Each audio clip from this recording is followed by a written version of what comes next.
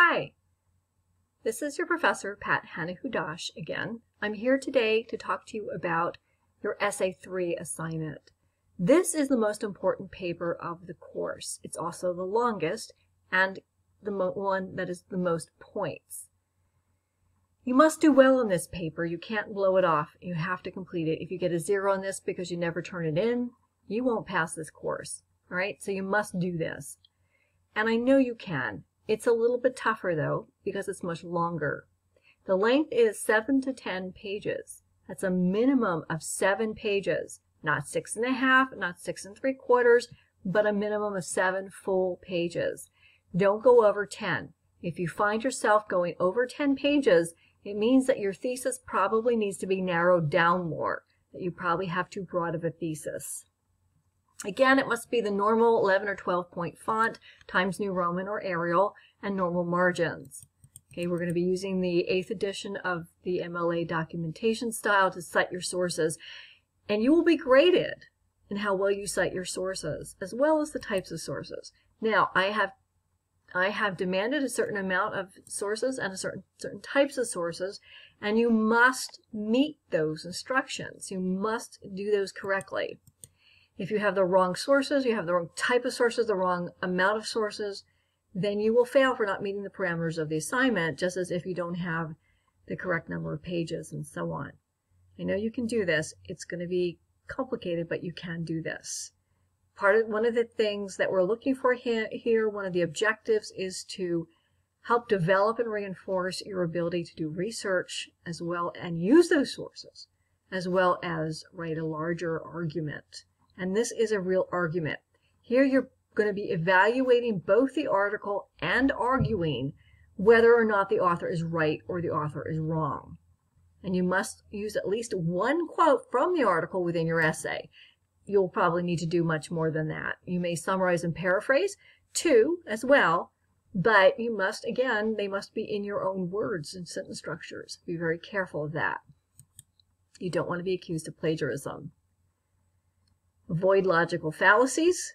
Okay, they are dangerous to your argument. And support your points and refute the opposing viewpoints. That's very important with evidence from other sources. In other words, you're going to use research material to support your points. Your sources should include, and this is very important, at least one scholarly academic journal. Right? That's a peer-reviewed scholarly academic journal.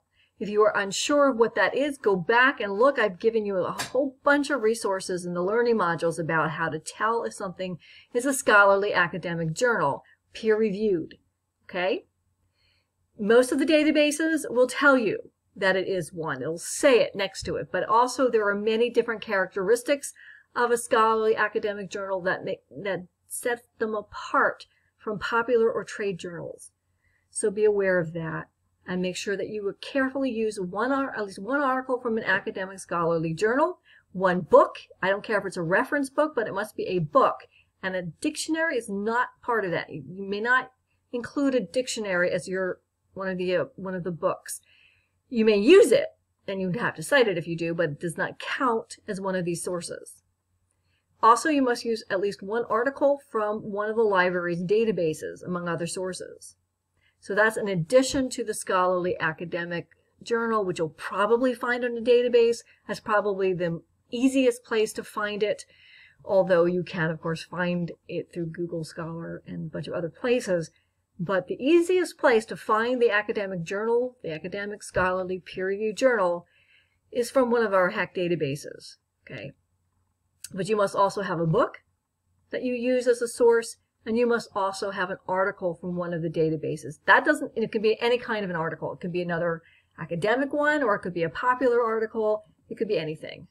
Um, it doesn't, whatever, it doesn't matter. But it must be from one of the databases. Okay? You must use at least five sources. Again, one must be an academic scholarly peer-reviewed journal article. Okay, it can be from anywhere, the second must be an article from one of the databases. It can also be an academic scholarly journal article, but it must be a second one then. Okay, but it must be from a database. And three, it has to be a book. The other two sources can be from wherever. They, you can even use the internet this time around, but be careful. Make sure you evaluate the source carefully.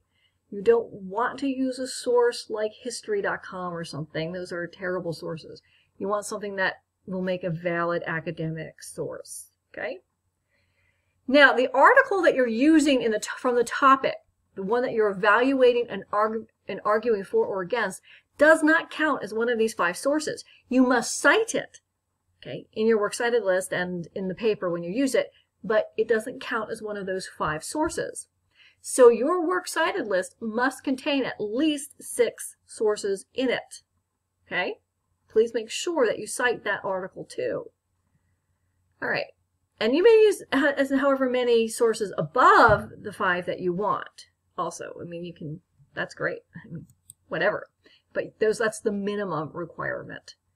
Make sure you cite your sources correctly according to the 8th edition MLA documentation style. Make sure that you use indexed and parenthetical citations correctly. I get really annoyed when I see a student at this point not using in-text and parenthetical citations correctly, um, or works cited ones, but those are a little bit more difficult. I'm a little bit more sympathetic, but not to in-text parenthetical citations. You should know how to do them at this point. Um, and errors in citations will seriously damage a grade, even within the works cited ones. So please make sure that you do them carefully and look up how to do them. If you don't understand how to do them, ask. Either I or our resident librarian here in this course will help you. Again, Wikipedia is not a valid academic resource. You may not use it. You may quote from a dictionary in your paper, but the dictionary does not count as one of your required sources, though you must cite it if you do use it. All right? Again, if you don't have required number of pages, the required types and number of sources and citations, you could fail, you will fail for not meeting the parameters of the assignment. Be careful that you cite correctly. Be careful that you use block quote formatting for any quotation, direct quotation that is over four lines on your paper. If it's under four lines, it's a short quote and you use quotation marks. If it's over four lines on your page, then you must use block quote formatting. I put information in your learning modules on how to do that. It's very important. If you if you can't find what I put in the learning modules, you can always go to the OWL at Purdue, O-W-L at Purdue, um, just owl.com. And that's a great resource for learning how to do citations. Also, ask questions. Go to smartthinking.com, get a tutor there, or to one of the HACC tutors in the Learning Commons at any campus, or ask me. We're all here to help you. There's a checklist at the bottom of the essay and a checklist in the learning module to help you figure out whether or not you have met all the requirements for the assignment. Just be careful. Remember, it's important you don't want to do all this work and then end up failing for not meeting the parameters of the assignment or for plagiarism, okay, even unintentional plagiarism. Make sure that you do everything correctly. Again, ask questions if you need help. That's what I'm here for. Right? Take care and talk to you later.